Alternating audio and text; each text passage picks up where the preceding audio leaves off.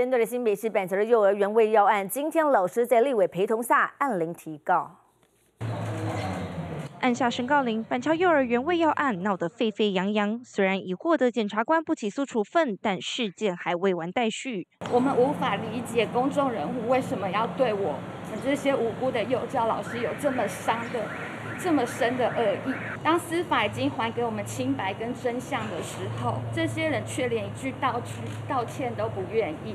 全身发抖，在镜头前要政治人物负起责任。板桥卫要案幼儿园老师由国民党立委王宏威陪同，在台北地方法院正式提告，包括时代力量立委王婉玉、儿选会创会理事长王维军、新北市议员戴伟山等五人诽谤和泄露各资，甚至把他们的各自外泄。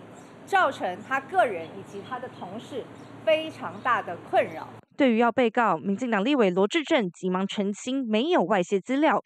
戴伟山反批王宏威要公平，不要双标。当时就是要要求啊新北市政府的行政部门啊尽快啊采取行政的调查，然后真相能够查出来哈。所以我们并没有任何所谓的诽谤啊，甚至泄露各自的一个情况。侯友谊市长在第一时间没有进行行政调查，没有妥善保存真相，导致后续这么多争议的一个原因。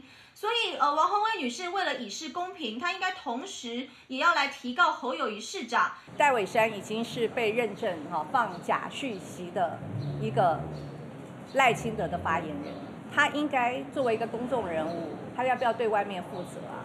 现在还在这边讲有的没有，他到底有没有羞耻心？哈。随着选举白热化，蓝绿激战越演越烈，板桥卫要案似乎还没有完结的一天。记者综合报道。